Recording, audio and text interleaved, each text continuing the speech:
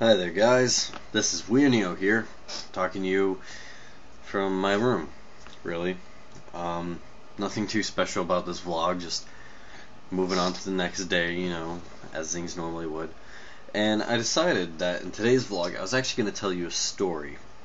Now the story is um, about a game.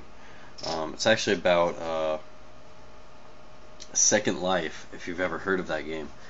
Um, Second Life is a, uh, it's almost like an MMO, kinda, not really. It's kind of like Habbo Hotel or MyCoke Studios, if you ever um, were involved in any of those game kind of uh, virtual chat room ish games back in the day.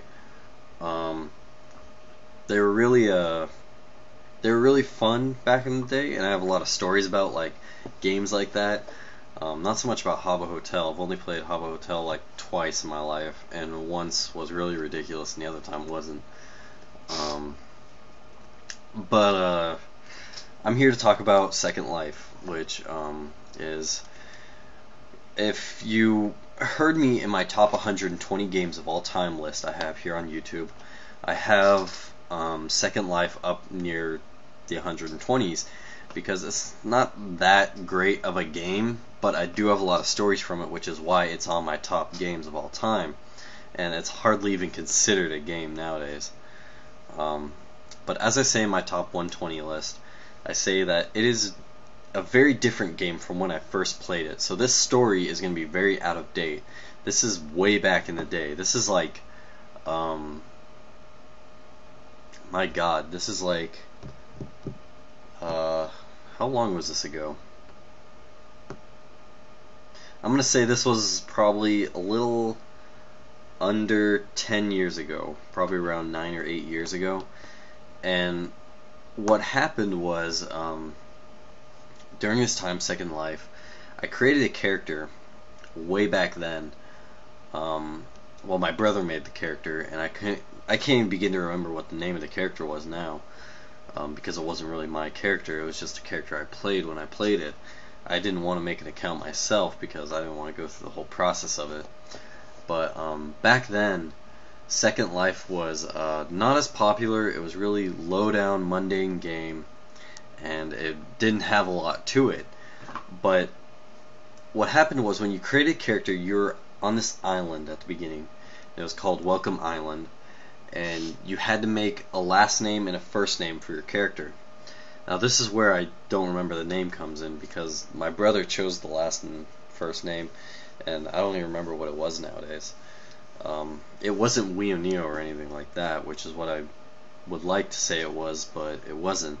So unfortunately, I don't know what I was um, back in those days. But anyways, on to the story.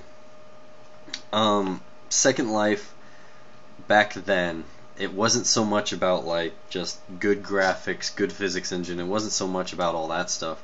Apparently, from what I hear and what I've done on research, the game is kind of similar to what it was back then, but it's still very different. Um, there's still a lot about it that has changed. Um, the graphics have greatly improved nowadays. There's a lot more, I guess, quote unquote, dirty stuff that happens in the game, and it's more so over um, about advertising and a lot of stuff like that now. I don't know, it's just really different. Because back then it was just about this giant virtual world of a bunch of servers connected together to create giant land masses that you would go to. And your basic form of travel in this game was you literally just lift off the ground and start flying anywhere you please. And that was great. That was what was awesome about it, is that you could just your friend would be like, "Oh, I'm at these coordinates," and then you just fly there, and boom, there'd be like this giant tower of multiple floors of stores and stuff like that, and you'd just come flying in. You'd be like, "Hey, what's up, guys? Let's hang out." And basically, to start off this whole story of my Second Life Chronicles, um, basically, I first played this character, and I was at the Nexus, or the place where everyone gets spat out from Welcome Island onto, and um, basically what happened was um, I started exploring. I went around. I tried to look for a car or something like that to drive. Now, something you have to note about Second Life is that it had a free creation engine, and this free creation engine allowed you to build anything in the game. and you could import textures and put it onto that stuff, and you can mold shapes into whatever you wanted and build it. And then you can code whatever you just built to do whatever you want it to do, whether it be a vehicle or a door or a toilet you can go shit in.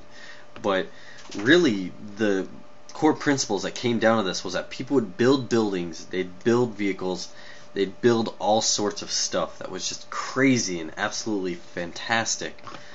But eventually, what led on when I started playing was that I didn't know jack diddly squat how to use this creation engine. I couldn't create anything if to save my life. And literally, what happened was um, this led to the game being very boring to me when I first started playing it. And so what I did was um, I basically sat there and was like, all right, I need to find something to do. I need to figure out somewhere to go. So I walked around this plaza. I saw a lot of like shops and stuff like that, and I didn't have money or anything. So when I went into these shops, I was like, "Oh, this clothing looks awesome," or like this thing looks awesome. You could create stuff, open up your own shop, like somewhere floating in the sky, and sell your creations if you wanted to. And something about that was that I would go into these shops and see all these cool things that I would want, but I didn't have nearly enough money to buy it and back then I didn't know how to make money in the game. Apparently nowadays you can get a job in the game or something like that, or you could open up your own shop like I just said you could. I think that's how people made money back in the old days was you just opened a shop and sold whatever you created in the game, whether it be vehicles or chairs or nice furniture or something like that. But what this eventually led to was me being bored and I was like I need to find somewhere to hang out and just meet a bunch of people. And so I went to a club that was um, located somewhere in like these hills, kind of near the ocean, and it was called Club Cherry. And this club was very dark. It was um, it was a lot of red neon lights, a lot of cherry symbols, and all these like clubs and like public places had like owners. They had these people that originally built it and established it there and maintain it. And what happened at Club Cherry was I went there and I got into the club and like it was bumping and people were grinding on each other and all that jazz. And I was like, hmm, I wonder how I can use this. I wonder how I can have fun here. So what I did was I got on the dance floor and I started dancing all around and started booty bumping and grinding on everyone, as awkward as that is. But it was fun and they had slot machines there and what little money I did have I gambled all away and I was sitting there and I was like, well, shit, now I'm broke. And this is a few hours later. And so I went, I flew out of Club Cherry, literally, and I went to a portside town. It was kind of like a dock with a small shop on it, on the dock. And the dock just went out into the ocean, and the ocean just went down, way down. And what I did was um, I went into the shop and I was like, well, maybe there's something here I can buy. Maybe there's something um, I can do here or something. And it turns out once again I was like, well, I gambled all my money away and I couldn't use the creation engine for shit. So then I got really depressed and I was like, oh man, I just screwed myself over in this game. And so I sat there on the dock and I was just sitting there and I was like, this is depressing there's nothing to do. And I was then beginning to realize how bad of a game this was initially. And I was like, man, this game can't be bad. I mean, there has to be more or something I can do. Something I can, like, go on with, or something I can just basically do. You know, just something to do. Because normally these virtual chat rooms, they always have something you can be doing. There's always some hangout spot. And I could go back to Club Cherry and talk to people, but I wasn't really much of a socializer back then. Now, here's where we get into the intense part of the story. So, in all my lackadaisicalness, I jump off a pier and I go floating down to the bottom of the ocean. Now, you can't really die in Second Life. There's no way to die. But there are ways to, um, say, I guess, um, get hurt, things like that and um, I dive down to the bottom of the ocean, and I'm sitting down there, and being underwater in Second Life back then was just like being above water. Like there was no real physics engine, or there there was a physics engine back then, but it wasn't like super intense, so that like you were slower, you could jump higher, anything like that. Besides, you could fly in the game. You could just fly underwater, and it would be just like swimming. So basically, I'm sitting there at the bottom of the ocean now, just sitting by like this rock, and there's this anchor that someone built and threw down here as well. And I'm sitting there, and I'm just like, man, I was like, this is so depressing. And I'm thinking about how awesome this situation is that like I'm I'm run out of my luck, and I was on this pier, and then I fell off, and I jumped into the water, and I swam down to the bottom of the ocean. And then I saw these bright lights in the distance of the ocean, the seafloor, and I was like, what is that? And so I eventually f- swam slash flew my way over there, and it was an underwater club. It was this building that someone built underwater that had an elevator shaft leading up to the surface of the water, and it was just a club where people were dancing and there was like there was just booty bumping and grinding like Club Cherry, but it was underwater and there was all these windows around like porthole windows like that you'd see on a ship. And I was like, this place looks awesome. So what do I do? I hop in the elevator and I fly my way down in there and I come into the club and I'm like, boom, baby. And it's just bumping already and everyone's all on each other and I'm like, what is going on here? And so I sit down and I'm like walking around the club. Well, I sit down at a table and I sat there for a little while and I was overhearing someone's conversation. Like if you know Habbo Hotel or MyCoke Studio, back then what it would be like is if you were near someone else in the world, you could start hearing their conversation or you basically start seeing what they're typing. And so I started like sitting at tables and walking around, sitting at another table, sitting like behind people, kind of like hunched over, like listening to people's conversations. And I was like the biggest creeper on the planet. And what happened was I eventually walked over to um, the window in there, and I was looking out of it, and I was like, man, this place is awesome. I was like, I gotta hang out here like every night, because all these people were talking about creation, the creation engine, and just creating stuff in general and just at how cl- just cool it was. And I was like, all right, I know what I'm gonna do. And I was like, I'm gonna go outside. I'm gonna try to understand this creation engine. I'm gonna build something awesome. And basically, what happens is there was a button to the elevator, and you had to target it and press E. There was a certain targeting system in the game when you target something in the world and you had to target the button and press E to activate it. And there are certain objects in the game you can activate, which would eventually lead to something, which once again is a part of the coding engine that was in the game, which a lot of people made use of. And this guy coded this elevator to go down. And basically, what I did was, instead of targeting the button, I targeted a nearby window. Now you can probably tell where this is already going. And what happened was, I pressed E thinking I'm targeting that I'm targeting that button to the elevator. I'm I'm gun ho sure about that. But no, I'm targeting the window. Now, you could lock certain objects in the game to make sure that people can't mess with your creations, but you can't lock activation objects. This is where the problem therein lay. Because now I target that window, I press E to activate it, I open it, and it hits me. We're underwater. This can't be good. So all this water comes flooding in, and it's just gushing out of this window, and I'm there like holding onto the window, screaming, and it's just filling up this club. Everybody's like screaming, crying. Oh my god, there was like babies dying and stuff. There were people like trying to get over other people to get to the elevator it was just all bad. There was no consequence to being under there underwater, but people were still flipping out because the room was just gushing in with water from this one window that I was holding on to, screaming. And I'm like sitting there grabbing it, and I'm like, ah, and I'm trying to close it, and I'm just, oh my god, I'm trying to close this window, and the the physics engine back then took in force as a as a basically something that you could basically as a variable in the world. so I couldn't just close this window because of the force of all the water flying in. So basically, what happens is the whole club fills up with water. All the furniture floats to the ceiling. Everyone's all stuck at the ceiling, and it's just bad. It's bad because I'm stuck down there holding onto the window, and I just close it, and I'm like, God damn it. I am in so deep of shit right now.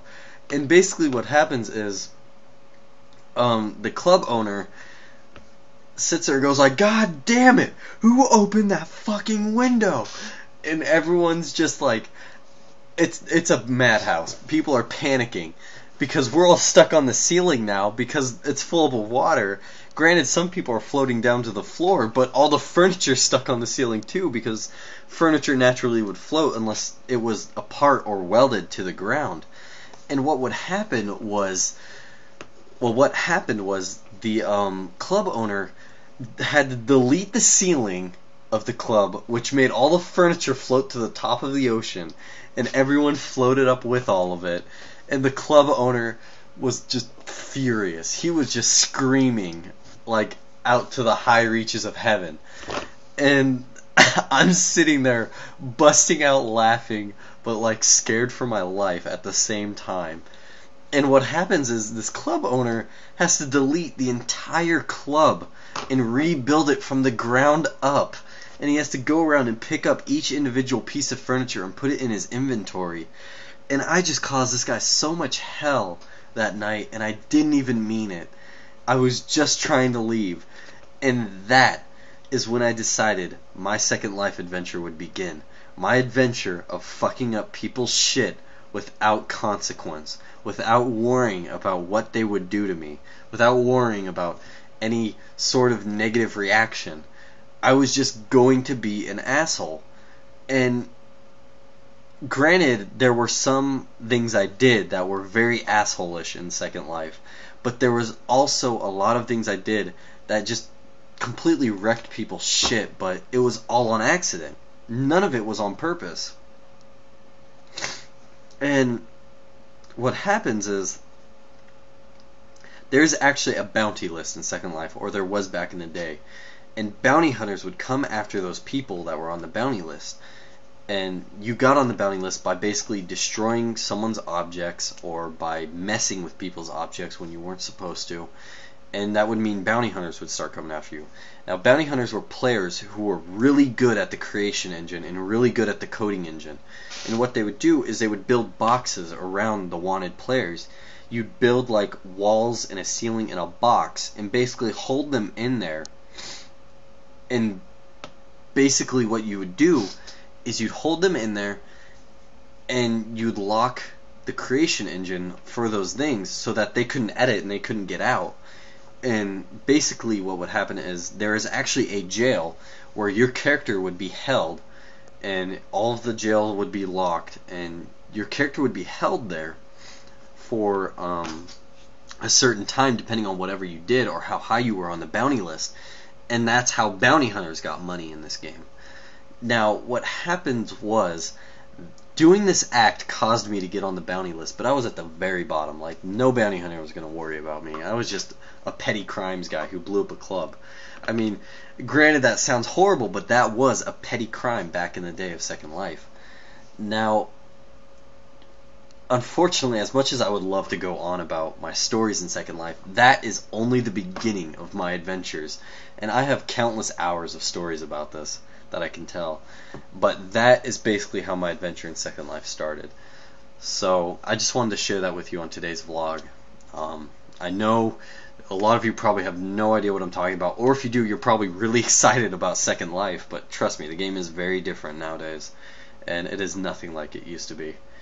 But, um, it was a lot of fun back then, and I have countless hours of stories of just funny shit going on. And basically, to get you more excited for future stories, in the end, let's say I. Basically, the conclusion of the story and to sum a lot of it up and to get you hyped up for the next few coming stories of this, eventually at one point I was the top number one wanted person in Second Life. Now, you might be like, holy shit, how did you get up there? Well, you'll have to wait for me to tell my stories because I was once the most wanted player and one of the more famous players on Second Life. So, that will be my vlog for today. I will join you next time whenever I do vlog. It probably won't be another Second Life story. I'm not going to tell these all in a row. I'll span these out over the cross of time and stuff like that.